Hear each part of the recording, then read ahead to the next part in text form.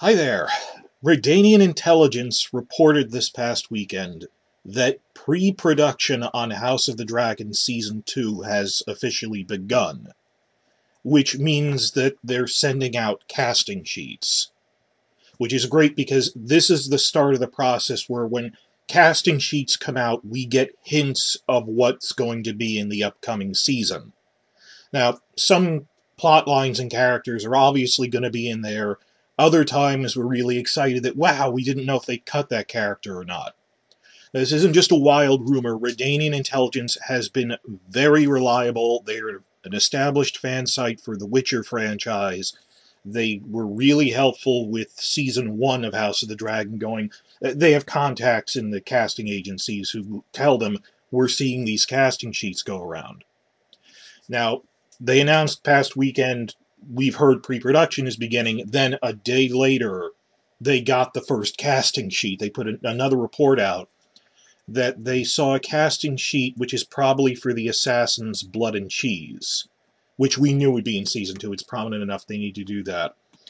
And then right after that, a day later, uh, someone posted an audition tape for this casting sheet on Vimeo. Now, this happened in season one, where we saw audition tapes for the Cargyll twins that when actors post audition tapes to Vimeo, it's because they didn't get the role. So this guy hasn't been cast. If you do get the role, you wouldn't post your audition. It's to show it off for other things if you're an actor. And auditions usually have placeholder dialogue that they rarely reflect what they're actually going to say in the episode, so don't like scrutinize the dialogue that much. I'll link to Redanian's report on this because I don't want to get penalized for if they go, oh, I'm posting spoilers, but link is below to Redanian Intelligence's report on this. But within the space of a few days, it's all one combined report. Hey, we heard casting sheets are going to come out. Then they got one for Blood and Cheese, and they even saw an audition tape for one of them.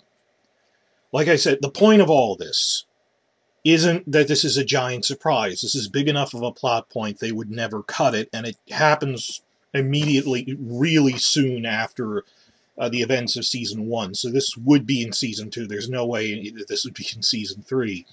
The fact that Blood and Cheese are in it isn't news in and of itself. I mean, even writers, uh, staff writer Sarah Hess said in a separate interview a few weeks ago, uh, just briefly, she acknowledged yeah, Blood and Cheese is in season two without elaboration. So, so we knew all of that, but the point is that the three month news slump this winter, the p- three month post finale news slump, is officially over. And we are now in an entirely new phase of the news cycle. We are officially in pre production where any day you could wake up and news could pop up on your feed that, hey, casting sheets are going out for something. So this helps fuel the online community. We have things to discuss now. That tomorrow I could wake up and see Redanian or something on Instagram going, there's this casting sheet going around that looks like Nettles, or sounds like Ali Blackwood, or, or sounds like Daeron Targaryen or something. So the news cycle has officially started up again, and this is very exciting because there, there was nothing this winter that the, the early December convention they had didn't really have news at it. and it was a good convention to, to discussing things with the actors. It was the convention is supposed to be a preseason thing. It got delayed due to COVID. We thought there'd be announcements about other projects at it, and there weren't. The one thing to come out of it was that deleted scene with Baela and Rhaenys, where Baela had actual dialogue. Other than that, no, because we've switched to a fall release schedule. I said this going in. If it comes out in fall, we're not going to get a full Blu ray set by Christmas. They can't make a two month turnaround. Maybe spring to summer we'll get a full set of commentary tracks and stuff. I don't know. We've heard nothing of this so far. But we haven't had anything to discuss over winter break or anything. That for Game of Thrones, this would be like the slump we'd have during the summer, where it would air in spring, finish by May, and we wouldn't get a Blu-ray until Christmas. So that's where we are news-wise. But even then, then they'd be filming reports by the summer. The whole schedule is shifted because it's a fall thing. They're not filming, and we didn't get a Blu ray, so nothing was happening in the winter.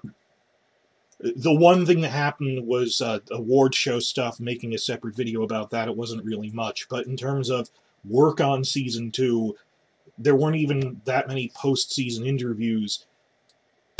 We have been asleep for three months. Now, on my end, in case you couldn't tell, I have had a really bad cold for all of January where I physically couldn't talk. I completely lost my voice, so kind of a good thing that if there had been big news, I couldn't have reported on it. I made a whole bigger schedule video about this. I'm recovered enough that I'm intelligible, but uh, yeah, I also had colds in, uh, November. It was a whole thing going around, so particularly January, I was completely shot. So we haven't gotten anything done the past three months. There wasn't really news coming out, but serendipity that just as my voice has recovered enough I can talk, this past weekend we got the news through a reliable source, Redanian Intelligence, that casting sheets are starting to go out for season two.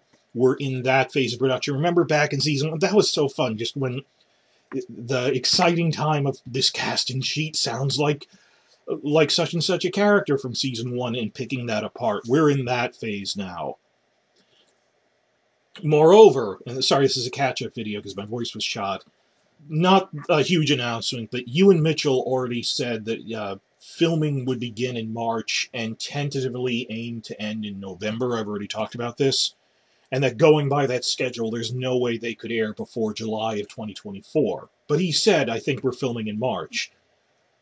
We found through other news channels, found through um, produ production registry websites that this is confirmed. House of the Dragon Season 2 will officially begin filming on March 6th. And you think, how could it be six weeks away and we're still seeing casting sheets? Well, some of this is for stuff they're not going to film until fall.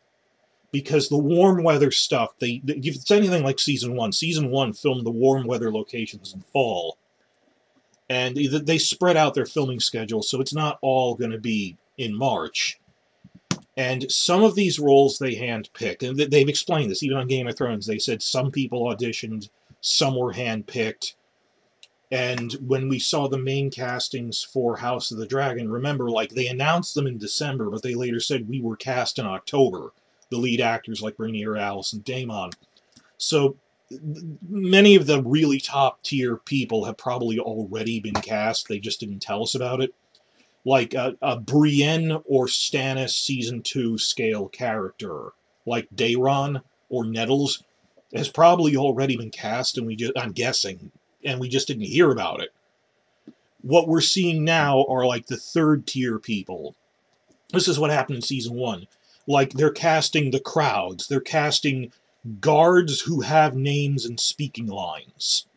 That that level of person. But from that we can discern what storyline they're in. If it says like um Daeron's Squire, we can figure out that okay, this is what the Daeron storyline is. That you find the people around these major characters who we would they wouldn't put out casting sheets for some of the really big ones, but we can figure out, oh, this is the person like Stannis's lieutenant would have speaking lines so that we'd see the casting sheet for that and it radiates outward. Like like Blood and Cheese, um, in terms of season two, a separate topic here, the issue this touches on. Uh, we knew this would happen. It's too big to. It, basically, in response to Luke's death, Daemon hires some goons from Flea Bottom to make an assassination attempt on the Greens not going to go into detail of how, but he hires assassins to make an attempt on them. And they're called Blood and Cheese because one is a rat catcher who can sneak into the Red Keep like that, and you, you'll see what happens. The real question wasn't whether or not Blood and Cheese would be in season two. The, the real question here is will it be in the first episode or not? Will it be in the premiere? I mean, there's no way they could drag it out until the finale if I were doing it, I wouldn't do it in the very first episode because people haven't been watching for you know a year and a half by then. That you want to usually spend the first uh, episode or two reorienting everyone, setting up the pieces again. So I would do it in at least the second episode, possibly as late as episode five. That's debatable, but introduce them as like, and we hired these assassins, dun dun dun, at the end of the first episode, then do that in episode. Two. That's a debate of when do you do it in season two. Uh, from the first through fifth episode or so, I'm not, I don't think it would be as late as episode five, but we'll see how they move that around the wider issue being, and I've talked about this elsewhere and will again, and we'll be debating this for a long time, just how much story will season two cover? Because everyone more or less agreed that the dance over Storm's End, the fight between Aemond and Luke's dragons at Storm's End, was probably going to be the end point for season one because it's a good climax, the first dragon versus dragon fight that it's mostly adapting uh, the Rogue Prince novella, and then like the, the first two chapters of the Dance of the Dragon stuff to get up to okay, the war has begun. There's this action climax, the first dragon versus dragon fight. That was a pretty clear stopping point. For the rest of the story, what are the big chapter breaks? Like, I can think of okay, this is a big enough battle; it should be an end. Like going into Game of Thrones, you could tell there's enough story in book three, it'll have to be split in half, and the Red Wedding is a good stopping point, or the Battle of Castle Black is a good point to end season four on. So major battles and act breaks are probably where you should do. But we'll have fun debating this of exactly when should they end this. In my mind, I really hope that season two does not rush, but ends with the Battle of Rook's Rest which, not giving much away, is the next big dragon versus dragon fight. There's other other battles where dragons are fighting just regular armies, but the next time you have a dragon fighting another dragon is Battle of Rook's Rest. It's actually a pretty big field battle involving armies and dragons. And the, this is a whole thing that people have been doing since before season one. I kept saying, I've read these books, I've scrutinized them, and I'm telling you, there is a lot of material in here because it's an outline. It seems shorter than it actually is. Like, it just mentions, oh, and this is what Baela and Rhaena were like. On paper, that's a paragraph, but you realize I want to expand on that character. So it was weird for me when people are going, oh, they're going to stretch the material thin if they go more than two seasons. What? Like looking at this, I was saying there's like five to seven seasons worth of material in this, depending on when you ended. If they could go into the next prequel but at least five seasons worth of material in this. And we saw what happened when they rushed it. That while I love season one of this, even George R. R. Martin admitted we wanted a 13 episode season and we're actually pushing for that and negotiating for that with HBO, but ultimately they said no. Because, you know, this was a dead franchise. They had no pull anymore. Now that season one is a big success, who knows what'll happen? That I'm hoping they said we think we can do it in four seasons of ten episodes. I think they were lowballing it because they weren't, you know, mega success yet. They need at least five seasons, or possibly another three seasons, but with 13 episodes each depending if you go well they're act breaks that if they've decided there's four like a play there's four acts to the story well and good but then those like act 3 will need 13 to 15 episodes to tell it right and just like air it in two parts or something i don't know. But a 13 episode season is really what we need. And the problem is it would be hard to expand the final season by which point the armies are exhausted and a lot of people are dead. It's like going well, uh, Feast for Crows, if that was the final book, when so many of the armies are already dead and so many characters have died, how would you expand their story? The point where you expand a story, choose to expand it or not, is the middle. Like Game of Thrones Season 2, do we introduce the Ironborn or not? Do we introduce. Uh, how much of the Stannis and Renly story do we show? That you have in Brienne, you have to pick and choose these are storylines are going to sideline or not. Now they did emphasize Daeron, uh, Alicent's fourth and youngest child. He exists in the TV show. We heard rumors that there were dialogue scenes in the finale that where they actually talk about him that were cut for time. We know a lot of a lot of scenes were cut for time from the finale, so I consider that possible. Other than that the, the actors and Martin have said he exists and he's shown in the title sequence family tree. The one thing is there is one line of dialogue where in the finale Daemon goes, the Greens have four adult dragons. He goes, they have three adults, then he goes, they have four in total. Because Daeron's is a juvenile. and She, she's war capable, but she's like Vermax's size.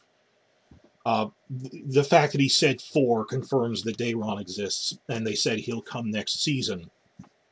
But for a while there, we were worried, like, will they show the Reach? He's on. He's the POV for the Reach front of the war in the Reach, or will they show the Blackwoods? Will they? How will Nettles be combined with Rhaena or not? I really hope not. Uh, that's just a rumor. Uh, that theory, not not a rumor. Uh, how much of these characters do you expand? Who do you condense? The time to make those decisions is the early seasons, season two, and they were writing season two just as season one was becoming a success. So I'm hoping that, you know, the writers probably said, we're banking on this being a success. We'll sit down and write a 13 episode season or write a season knowing it'll be 10 episodes out of a five season arc. And they just lowballed it to HBO. I don't know. Still, considering the, the, the, delayed response, that they were writing this long before they were filming it, when is season two going to end? It should end with the Battle of Rook's Rest, because if that happens mid-season, they're going too fast. They're going too fast that all the big land army wars are in are after the, the battle of the lake shore there's there's a series of other battles I've made longer videos about this, and this is supposed to just be an update, that if Rook's Rest ha happens earlier than episode 9 or 10, they are going way too fast. Then again, maybe they want to introduce the Dragon Seeds, but the point is, the battle after that, this giant sea battle involving dragons, the Battle of the Gullet, I would also think you could end on that and it wouldn't be too fast, but I would rather they didn't.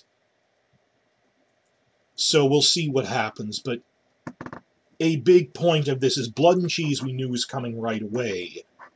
This is setting up other news reports that are going to come later. The thing we're looking out for is, based on the casting sheets, when exactly does Season 2 end? Case in point for season one, when we saw casting sheets for the Baratheon daughters, we were seeing Borros Baratheon's daughter. We went, okay, the dance at Storm's End is clearly in season one. Same thing for this, but for season two, of how far along are they going in this? Big question. I mean, just could you tell this story in another 30 episodes? That is, well, four seasons of 10 episodes, one is already done you could tell the story of Rhaenyra and Alicent in another 30 episodes. But much like season one, it would be stripped down to the point that Baela isn't a character, that Jace isn't really developed, that Daeron isn't really a character. And this is what, thankfully, everyone was saying after uh, that deleted scene came out of, wow, Baela didn't have that much to do in season one. She had this big scene going, I am a dragon rider, I want to do this with her grandmother cut for time. This is an argument for, and just I kept saying for season one, this needs to be like 13 episodes more than this. Oh yeah, yeah, just we're never in danger of stretching it thin. There's too many characters. Martin makes too many characters. You saw the complaint after the time skip was we needed at least one more episode to deal with the aftermath of the wedding before the time skip maybe another two to round out these other characters like their children, like Baela didn't, and Rhaena didn't do that much. Could you do it in 30 for Rhaenyra and Alicent? Yeah, but if you want more Baela scenes and, and everyone else, you need more time for that, but that's an open question. Uh, other news coming. I'm sorry. This is a catch-up news report for the past uh, week, past month. Uh, I I was completely sick. I lost my voice, and like three or four related news things came out all at once. That series of three reports are really one thing from Redanian that the first casting sheets are coming out. It's for Blood and Cheese.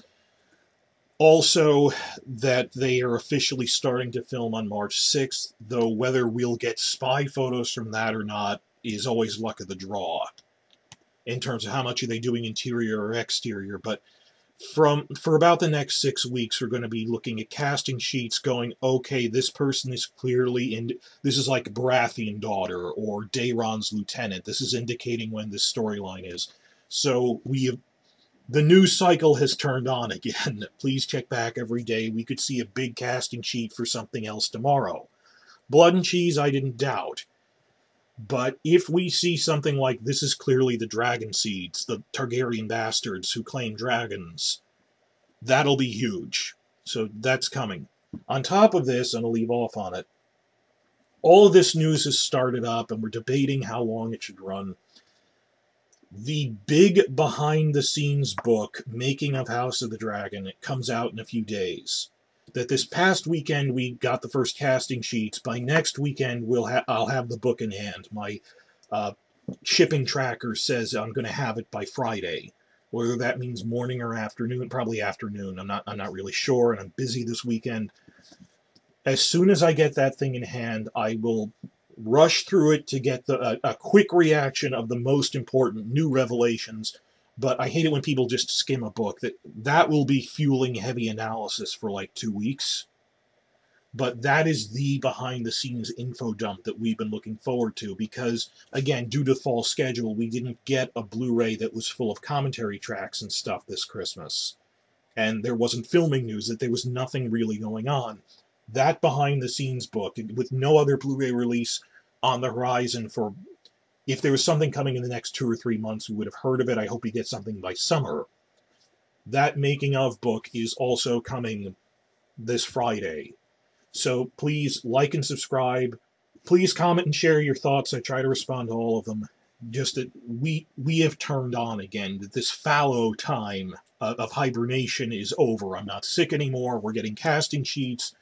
This weekend we're going to have a big behind the scenes info dump everything is starting up again. So how far am I in this? About 20 minutes? Sorry, this, is a catch up on. Uh, this should have been three or four smaller news videos, but I'm a week behind, so I combined it into one big one. Everything is starting up again. So please check back frequently.